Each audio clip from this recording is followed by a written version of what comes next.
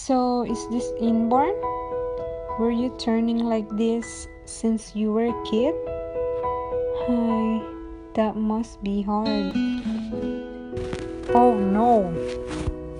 This thing started when I was 17. Me and my brother met a girl, and she was our neighbor.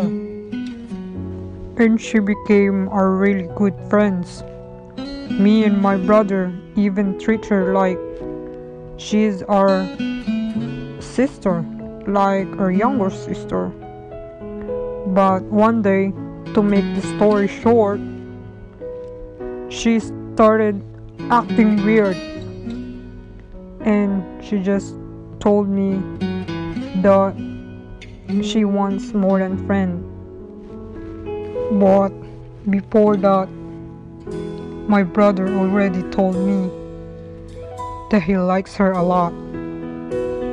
So when i found out that she likes me i decided to avoid her.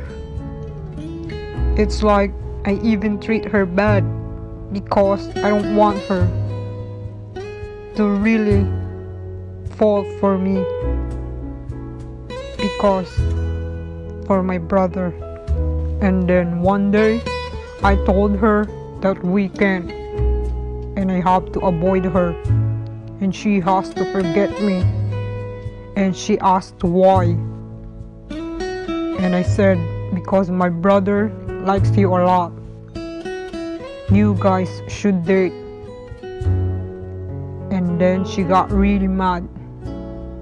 And she said that I'm going to regret what I said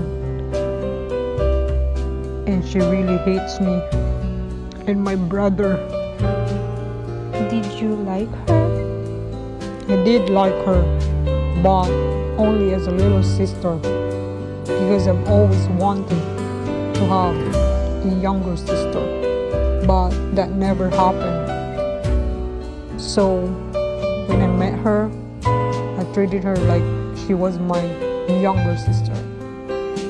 So I guess she misunderstood how I treated her because I was really nice to her. She even said that I just never fight for what I like because I always think about my brother. And then that day, she was really mad. She was crying and she said she really hates me and my brother because we don't care about her feelings. But I do care about her feelings. That's why I started to avoid her. So I won't hurt her. But she left. And after that, we never saw her again. I think they moved away her and her family. And that day, that's the day this monster thing in my body started every midnight. Are you sure it's because of her?